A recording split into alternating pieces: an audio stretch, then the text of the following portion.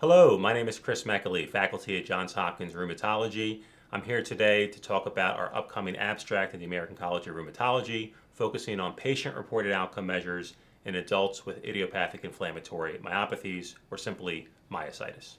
So I'm representing our group's work in the OMERACT working group, spanning five different countries. Uh, we cover Australia, the Netherlands, Sweden, South Korea, and the United States. And for the last 10 years, we've been working towards developing PROs specific to adults with myositis. What we'll be presenting this time around is our longitudinal data. So how these instruments perform over time. And we're specifically focusing on three PROMIS instruments. So fatigue, physical function, and pain interference. And we're going to be taking a deeper dive into the responsiveness of these, as well as quantifying minimal clinically important differences.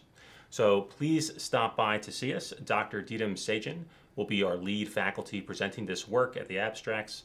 We'll look forward to seeing you there. Thank you.